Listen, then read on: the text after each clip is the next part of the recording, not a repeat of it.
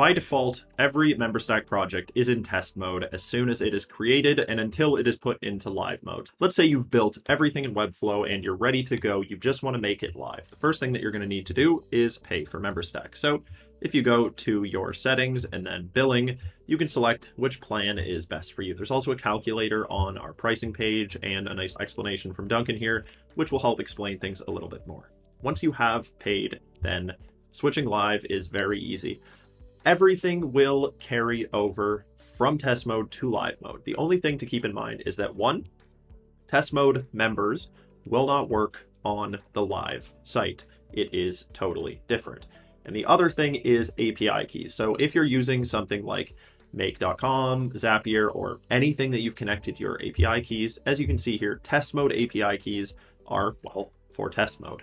And when you switch into live mode, anywhere that you've used your test keys you are going to need to replace them or it is not going to work. So just keep that in mind. And then finally, the only other thing you're going to need to do is set up your domain. So over here in the settings, what you can do just to make sure that MemberStack is only going to work on your site, nobody else's, is in the settings down here, you can see application domains.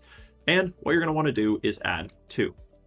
The first one should be your testing domain, the Webflow subdomain that you've been using the entire time. Keep it on test mode and select yes. Then you're going to want to get the live domain that real members are going to be using.